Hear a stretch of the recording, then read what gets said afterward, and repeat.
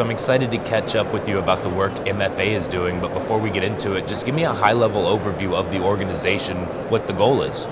So happy to catch up again. Um, since last time we spoke, we actually rebranded the MFA to the Alliance of Private Networks. And the goal here is to provide a hub and a resource for enterprises interested in deploying uh, private networks, and we want to provide the tools to simplify that effort.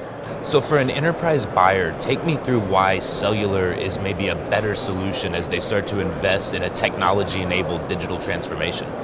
Exactly. So, what we're trying to highlight here is the benefits and the key KPIs that um, private uh, cellular networks provide. These are coverage, latency, reliability, and security.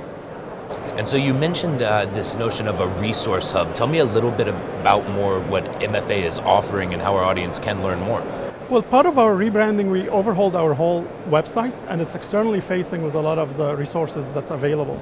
Some of the highlighted resources I want to point you to is our network identifier program, which is a global unique PLMN ID assigned to the alliance, which is very critical to deploying private networks.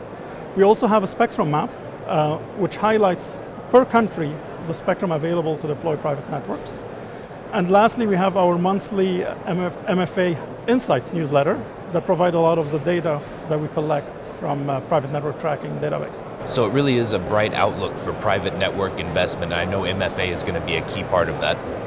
Yeah, the call to action here is really to connect to our website, mfa-tech.org. You have all the resources we spoke about available for you to download and get in touch with us.